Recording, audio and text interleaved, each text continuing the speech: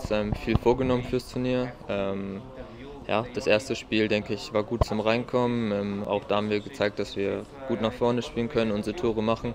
Jetzt gegen, gegen Serbien mit dem, mit dem 6-1-Sieg ist natürlich ein sehr, sehr gutes Gefühl, auch am Tag danach ähm, ja, das Spiel gewonnen zu haben, die drei Punkte eingesammelt zu haben und jetzt in der Gruppenphase nur noch ein Spiel zu haben, ähm, ja, wo wir natürlich auch noch gewinnen wollen und dann die Gruppenphase überstanden haben, was halt unser Ziel war, ins Halbfinale zu kommen. Und ich denke, ja, den sind wir auf jeden Fall einen Schritt näher bekommen. Und auch die Art und Weise, wie wir spielen, denke ich, ja, gefällt vielen Leuten zuzuschauen. Ja, natürlich ist die Stimmung momentan äh, ja, gut nach den beiden ersten Spielen, wo wir jetzt auch die maximale Punkteausbeute äh, mitnehmen konnten. Ähm, ja, es gibt uns natürlich schon auch Selbstvertrauen jetzt für das letzte Gruppenspiel, aber wir wissen natürlich auch, ähm, ja, dass an diesem Spiel auch noch extrem viel hängt, dass noch alles passieren kann und ähm, ja, dass wir auch ähm, ja, wieder mit 100 Prozent auch in das letzte Spiel gehen müssen. Da war sogar vor dem Start einfach eine gute Stimmung. Wir haben eine gute Mannschaft und ja, wenn man so gewinnt, dann ist es einfach, ist einfach super. Alle sind auf einer Wellenlänge, man will, will Fußball spielen, man will natürlich auch Erfolg haben.